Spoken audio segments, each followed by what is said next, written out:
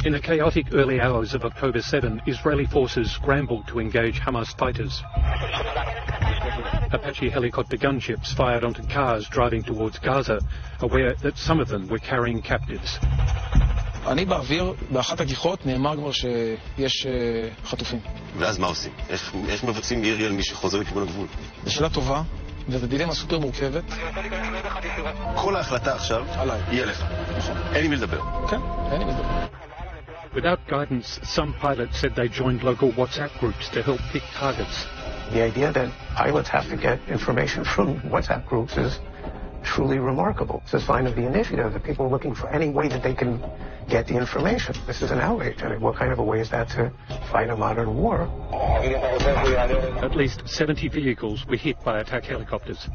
To me, it's inexcusable for a, a helicopter or any weapon system to be engaging any target if you don't know what that target is. Now, my concern is, with this footage, we cannot tell whether they're Hamas gunmen or civilians or possibly hostages.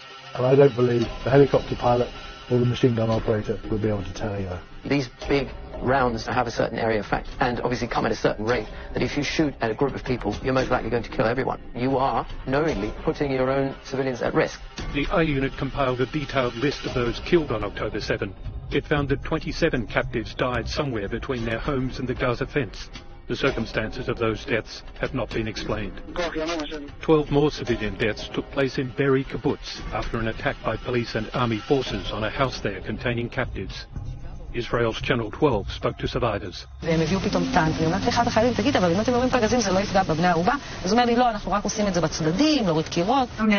מרסיסים, הם לא נהרגו כי רצחו אותם, הם נהרגו מהירי.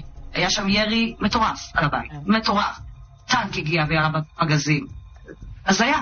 אם זה קרה, זה היה... אם, אם הם מתו כל הבני ערובה, זה רק מהירי. The investigative unit asked the Israeli army to comment on its actions on October 7. They did not reply.